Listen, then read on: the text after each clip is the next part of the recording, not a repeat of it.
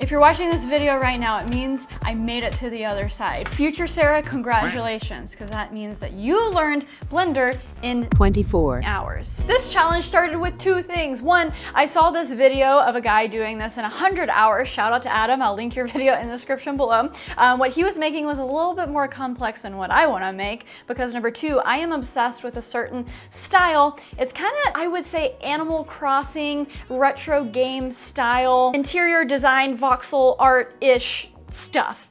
Great sentence, Sara. Basically images like this Oh my gosh, wow, how beautiful. It makes me feel something inside. The same warm, fuzzy feeling I have when I hop into my Animal Crossing home, but also I am obsessed with, as you know, creative spaces and desk setups and spaces in general.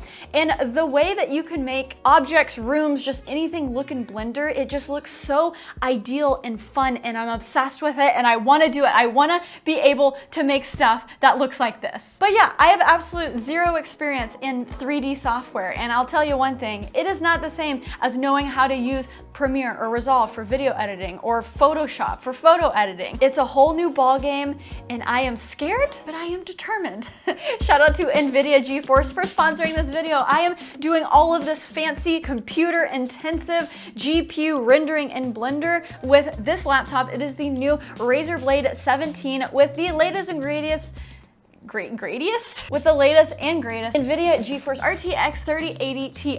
Woo! I am very excited to get to rendering in Blender. If at any point in this video you're like, wow, that computer looks amazing. Seems like Blender is not skipping a beat. Well, you can check out my link in the description below for more RTX 30 series laptops. Okay, so my final goal of this video, I am going to recreate the desk setup slash office of some of the best YouTubers. But first, we have to learn this program. Okay, day one, it's Saturday. I am in my very poofy sweatpants. Please be nice. And I scroll through hours and hours of tutorials. I almost give up at one point and buy a very expensive Blender class. I check out some Skillshare tutorials, and I will say the fact that a lot of these are like six hours long, very intimidating. I don't wanna do that. A few months ago when I was researching this and Blender just really intimidated me, I actually downloaded a free program called Magica Voxel. Now this is also a 3D program, but it's pixel based, so everything is a cube. And the way you navigate around this program is actually very similar to Blender, which actually helped me with the basics. So hopping into Blender, clicking on that scroll wheel is how you move from left to right or up to down, and then also how to zoom and zoom out on the canvas. Um, those basics were just really helpful to know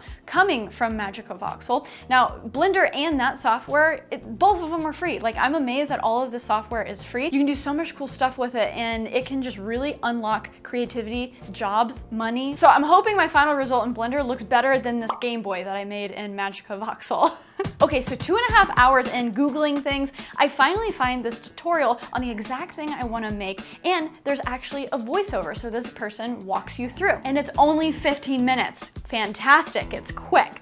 The only catch, every sentence this guy says is like a brand new thing I'm learning. So he'll say one thing, I'll try to do it. If I break things or if I don't know how to move forward, I have to Google that. So only four minutes into this tutorial has now taken two hours.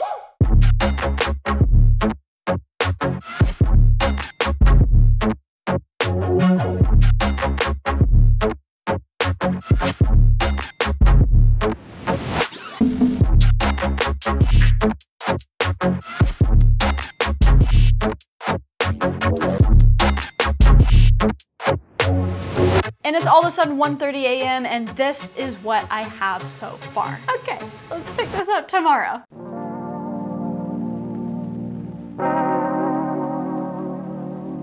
Okay, it's Sunday, day two. I am ready to hit it after I spend two hours watching F1 because I binge Drive to Survive and now I'm obsessed with racing. I Always used to think racing was so stupid. I'm glad I'm keeping focus here. I was pausing the tutorial literally every 10 seconds and then Googling things for 30 minutes because this tutorial wasn't super straightforward, but it's exactly what I need. So I just tried to stick with it. And then I was just going so slow. I'm like, man, I need to get my reps in on this program. This is more important. So I kind of started skipping steps. I wasn't doing everything that he was doing. So a principle that I abide by a ton is the 80-20 principle, okay? You can apply this almost everywhere in your life and it's super helpful to think about the places where you can put in 20% of the effort to get 80% of the results. A lot of people do this with learning a new language. So if I wanna learn Spanish, you know, learning every single word in the Spanish language is gonna take forever. It's gonna be really intimidating. But hey, what are a thousand words, a thousand of the most common words in Spanish that I can learn, mix and match them to say all of the most common sayings, and hey, be able to have a decent conversation with someone who knows Spanish about 80% of the time. So that's what I started doing here. I started focusing on the things that maybe I would wanna do in my own render. So I was making sure, okay, do I have the tools to make a desk, to make picture frames, to make a shelf? Let's make sure I know how to navigate in this program, really the basics. I'm not gonna spend an entire hour to figure out how to make a cactus on top of a shelf. That's not gonna do me any good for right now. So I just watched the rest of the tutorial all the way through. Um, I just finished the bed. I learned some cool things about mirroring, how to make loop cuts, how to do the beveling, how to do smoothing with the legs of those bed frames. And hey, after two days and almost nine hours, this is what I am left with. And of course, more knowledge. So I didn't take the time to actually color this photo. I'm gonna wait until my actual render. Um, but that part actually seems like the easiest part. I'm telling you, the muscle memory isn't just there yet that much. So I think I need to just keep iterating, keep going. So I'm a little tired, but I think I'm gonna be more motivated when I'm working on something that's mine, right? So let's do that right after just a quick word from our sponsor, NVIDIA. I have been so enjoying this laptop. It's a big boy, but ooh, power. The NVIDIA GeForce RTX 30 series GPUs are at the center of the world's fastest laptops when it comes to gaming and also content creation. Having that super powerful GPU can make such a difference when it comes to rendering, whether you're exporting photos, exporting a 4K video, or what we've been talking about in this video, 3D. 3D rendering. So let's actually see how long it's going to take to render my final Blender masterpiece. That you can't see yet. Um, but didn't it go fast uh, through a lot of my Blender learnings uh, via Blender Guru YouTube videos? Uh, it sounds like a lot of their pain points is rendering. So it's obviously super important to not just 3D workflows, but again, photo, video, gaming. Speaking of gaming, did you know I am terrible at anything other than Halo? Ooh, 248, 250. Okay, honestly, I know how to move. I actually, I don't need this. Ah! All right, next So as you can see, it is so amazing to have a 240 hertz display. And also with this specific Razer blade, having 17 inches is so clutch for gaming. It feels like I'm almost on a desktop. And also shout out to Razer Synapse. It's so cool how the RGB on the keyboard changes depending on what game you're playing. And really, the sky is the limit on how you can customize the RGB on your keyboard. And hey, how about you video editors? So let's render out my test project. This is a 4K 20 minute video, uh, like a normal YouTube video, but we have three different camera angles. We have some graphics, we have film convert uh, as the color grade and also music. So let's export in Premiere and Resolve. We're utilizing those CUDA cores from our RTX 3080 Ti. Okay, so the video exported in 10 minutes and 37 seconds in Premiere and 8 minutes and 29 seconds in Resolve. These laptops are built with NVIDIA's second gen RTX architecture to give you the most realistic ray traced graphics and cutting edge AI features like NVIDIA DLSS, which stands for deep learning super sampling. This allows you to crank up the settings and resolution so your games can have a speed boost without compromising image quality. This SD card slot is the best SD card slot I think I've ever used in my life. Why, you ask? The SD almost goes all the way in so it's not popping out and it consistently pulls up. You know, I'm gonna do it. Just hold on, hold on, hold on. Ooh, satisfying. Okay, everyone, hey, listen, if you wanna take your creative application, I don't know what I'm doing, I'm just very excited about this. If you wanna take your creative applications or your gaming to the next level and also simultaneously being on the go, well, check out my link in the description below where you can check out all of the latest and greatest, greatest NVIDIA GeForce RTX 30 series laptops. Really, check it out, description below. I'm procrastinating because I don't wanna get back to Blender. It's very hard. Help.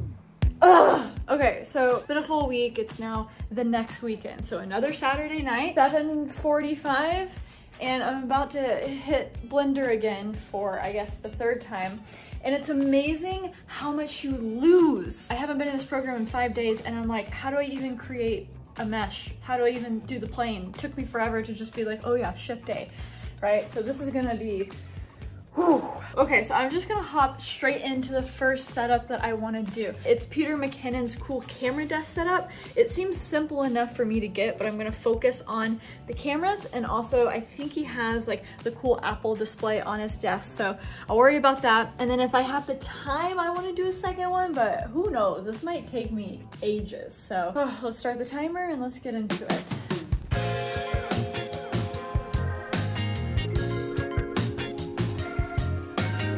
Okay, so we are going to start with the I'm actually able to use some of the tips that I got from my tutorial, like basically instead of recreating six or 12 different shelves, I'm basically going to create one and then add the array effect to create multiple ones, and then I'll just duplicate that to the other side. This is something I'll have to figure out later on, but basically I'm adding a loop cut to create the different cabinets within that lower cabinet. If you see when I go over to edit mode, you see those cuts. I did the same thing with the window, but then when you go over into object mode, those cuts kind of disappear. So at this point, I'm still kind of confused about loop cuts. Obviously, they create different vertices that you can then transform and drag and do different things with, but I'm gonna have to figure out how to make those lines actually permanent to where it seems like a window, it seems like cabinets. I'm actually really excited about adding these lights on the cabinets, and it was actually extremely easy in Blender. I basically just made an object that looks like the light, again, made the array, duplicated them,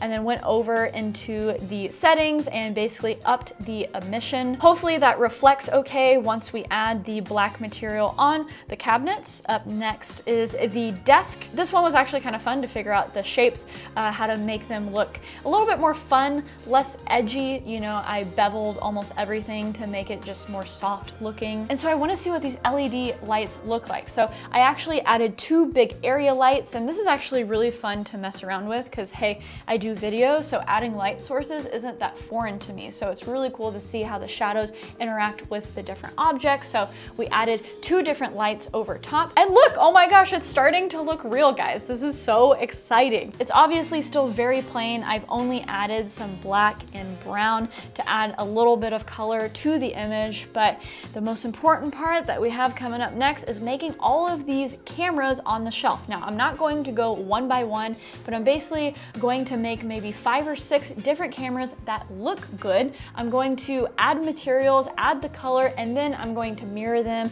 I'm going to add an array to where they basically just populate all over the shelves because I, oh, this has already taken so long, I can't sit here and take like days just making like 500 different cameras. Like, I wonder how long it took Peter to actually buy those cameras. Okay, hello everyone. A lot has happened since I last updated you. I am now on the fourth weekend of doing one image and if you have done anything creative and if you're stuck on one project for that long, you know it's hard to get that motivation to finish said project. So last weekend I only did like one or two hours. I was just so burnt on it. I was like, I can't do it. And then I got some momentum back up. I basically tweeted out to the community. I was like, hey guys, I'm struggling. Can I pay someone to tutor me in Blender for an hour? And dang, the Twitter community came through. So shout out to Arturo who helped me. He actually runs a Blender server on Discord where you can go and just talk to other people who are doing Blender. So I will link his YouTube channel and also that server down in the description below.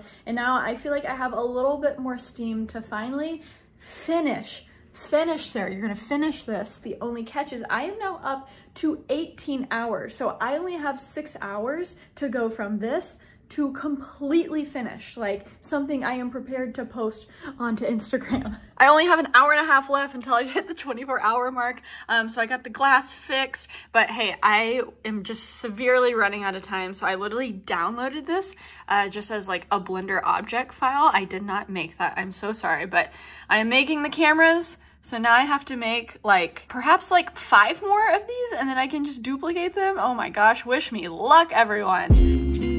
Okay, so I can't believe I actually finished the render. When I look close, there's obviously things that I don't like and I want to change, but the entire goal of this video was doing this for only 24 hours. Granted, that is over a month, so 24 straight hours of work. I set my timer uh, every time I went into Blender over a month.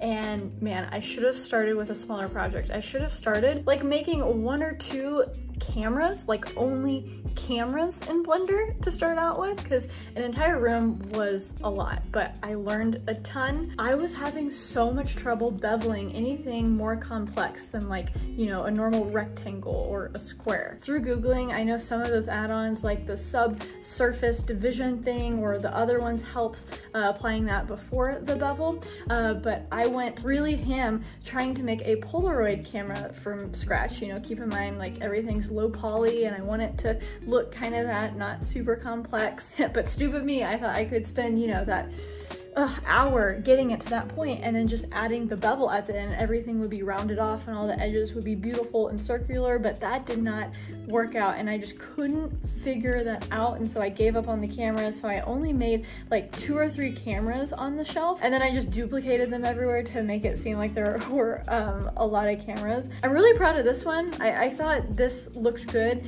and what is cool about Blender is it's activating things in my brain like problem solving things that I really haven't felt since I was actually coding in college. Again, I don't remember any of that stuff that I learned, but there would be times that I was in Python or somewhere else and I was like, oh, how am I gonna do that? And then just a light goes off and you're like, wow, that's smart, Sara. That was smart. And I'm feeling that in Blender and it's a good feeling, but Guys, this was one of the hardest things that I've done in a while. I am so comfortable in the programs that I know and use Premiere, Photoshop, Lightroom. It felt like I was like breaking my brain and putting the pieces back together. And now that I'm on the other side, it feels good. It feels good to learn something new.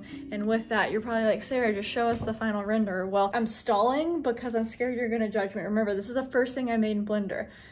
I look at it and I see mistakes, but I think it's, I think it's decent. Okay.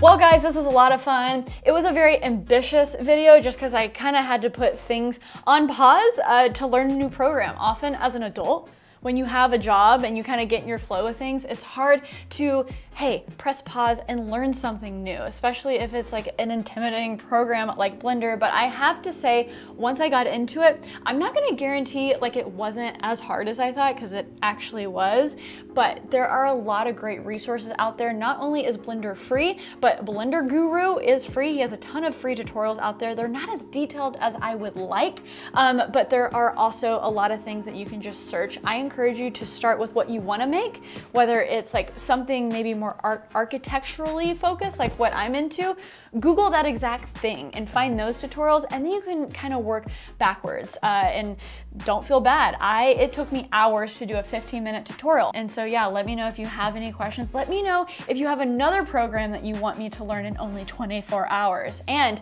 there's nothing left to do but check out my link in the description. Thank you so much NVIDIA for sponsoring this video. I'm telling you guys, this Razer Blade 17 did not skip a beat. And maybe if you want something different, you can check out all of the amazing RTX 30 series laptops, again, in the description below. Check out Peter. Thanks for being a good sport, Peter.